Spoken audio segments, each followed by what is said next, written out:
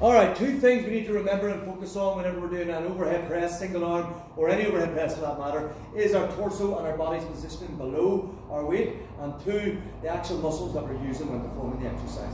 All right, so first thing, for example, on our single arm overhead press, is stacking the weight on the wrist.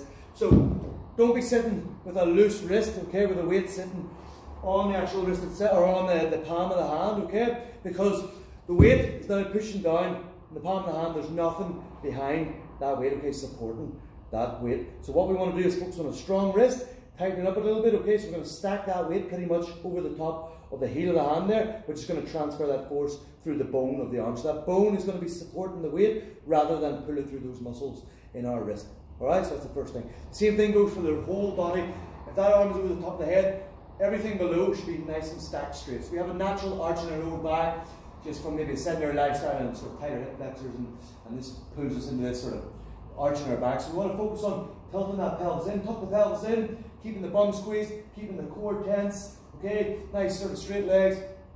Everything's going to be nice and solid then, which below that weight, okay? So we're going to grip our dumbbell, we're going to stack that wrist, we're going to tuck that pelvis, keeping that bum squeezed, keeping that core tense. Now we've got a nice solid base below that weight, and we're going to press straight up, lock by our ears. It's going to be a nice straight line from the top, from that dumbbell all the way down to the heels in the floor, okay? Alright, the next thing is just where we actually should be feeling this, okay? It's not thinking about pressing from our shoulder here, okay? You want to focus on pressing from your lats here as we press, and then absorb that weight back into your lats again at the bottom, okay? Give that a go, pelvis tuck, bum squeeze, stacked wrist, core tense, lock it out, control it down, okay?